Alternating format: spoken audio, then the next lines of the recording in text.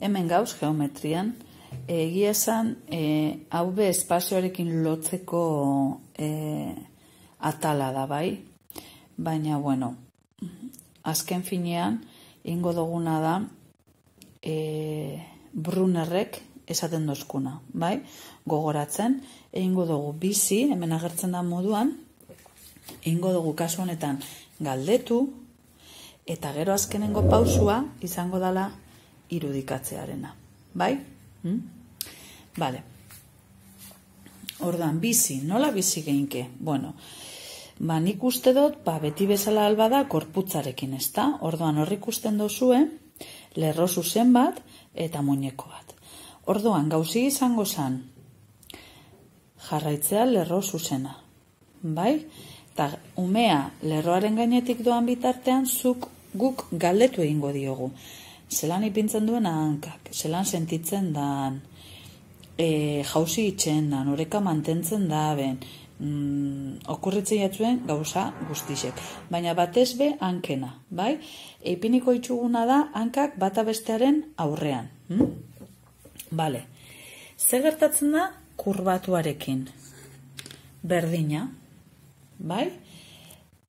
Ibiliko gara marraren gainean, zelan ipintzen dituzu hankak, zelan sentitzen dozu gorputza, e, eta bera jutea hori dana guztia verbalizatzen, ez da? Nik uste dut oso garrantzitsua dela verbalizatzea. Hm?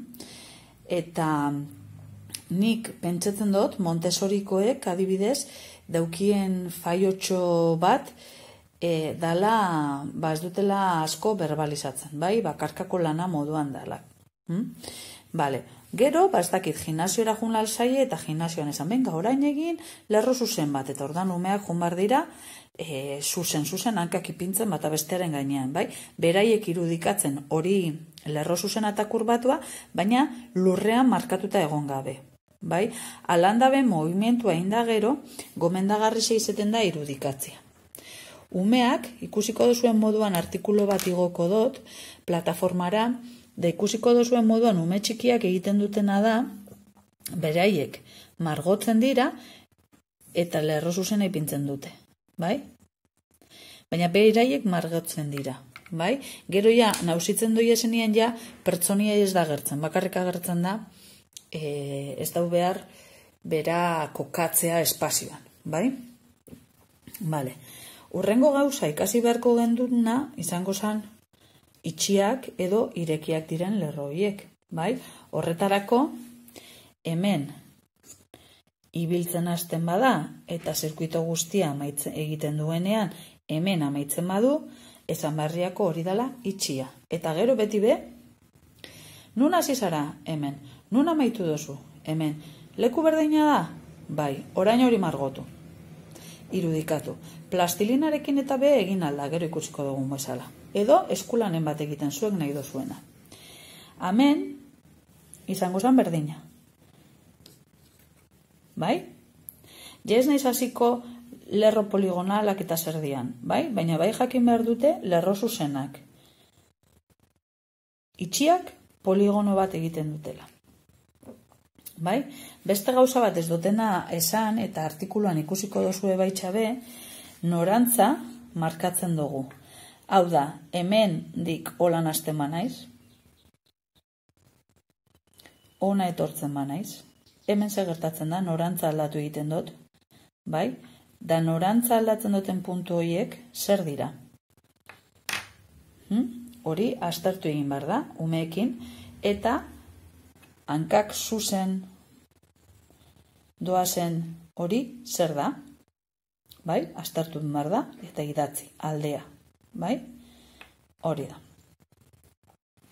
Ordan, zuk esaten dutzazu, guk egin gendu nahi zen zan, triangelu desberdinak margotu gendu zen lurrean. Hori bebai, komenigarrisa izaten da. Bai? Hau da, guk adierazten dutzaguna umeari da.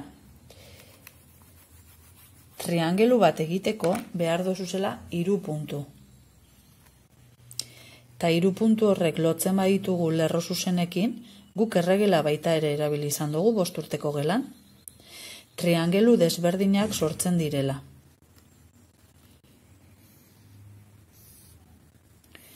Eta orduan, saio bat osoa, ze gertatzen da horrela ipintzen baditut? Saio bat egon ginen triangeluak egiten. Puntuak margotzen eta erregelarekin lotzen. Bai? Batzutan baita be egiten dutzue horrela, bueno, horrela egin alda, e, bat ipini aldote hemen, bestea hemen, bestea hemen, bai? ikusten, triangelu desberdinak. Gero triangelu guzti horrek zailkatu egin behar dira, ze triangeluak die izena, baina bizena daukie, bai? Hor diaz gazartuko, bale? Hori da, ja lehen lengo maietarako, bueno, nagusiagoetarako igual, eh? bai? Baina hemen baita ere, gero, geometrian egin behar dugu zailkatu, beraz, gabiz logika matematikoa lantzen, bai? Eta ezaugarriak aztertzen. Bale, laukiekin egingo gendun berdina. Hau da, lurrean, margotu aldoguz, lauki desberdinak, talen egin dugu bezala, hauek orain egin behar ditugu juntau. Lerro zuzenekin, eta haue dira laukiak. Bai? Hemen hasten da, ibiltzen, norabide aldatzen dudanean, hau da, erpina, eta bestea aldea. Nik uste otori jakinda, nahikoa eta sobran. Gero beste gauzatxo bat gizar gertatzen da, ume askok pentsatzen dutela, nik margotu dutena, hori, berdea ez dauena, dala e, laukia. Ez dala barrukoa ere, bai?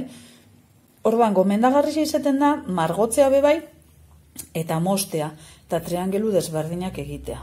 Bai? Azken finean, horrelako zerbait geratzeko. Bai? Ze orain ikusiko dugu moduan, e, geoplanoarekin ere irudikatu aldugu, baina barruko ere geratzen da utzik di, dino. Ez? Bai? Utzik. Bale, niri oso grazian disein sostan ume batek, ze klaro, nik esaten diet beti, direkzioa aldatzen den leku horretan, salto egin bar dutela, ezta? Pixka nabarmentzeko berei gorputzean igerteko, ezta? Ordan irudikatzea tokatu zitzaionean egiten zuen salto ta arkatza altzatzen zuen. Salto. Osea, flipata geritu zintzen hori da oso oso barneratuta dekola, bai? Barneratu dauela. Eta e, irudikatze puntua izango zan askena, kasu honetan, ze mm, gure hizkuntza matematikoa da kasu honetan irudia egitea. Eta baita ere ikastea bokabularioa, baina ikasi dugu erpina eta aldea. Angelu hori guztiarekin ja ez gara sartuko, bai? Orduan, irudikatzekoa forma desberdinak dauz. Egin aldugu plastilina gaz. Egin aldugu regletekin, ikusi dozuen moduan. Regleta berdinak, bi berdin bat desberdin, irura desberdin, bai? Eitxu, lauki bat. Area, nik asko erabiltzen dut area.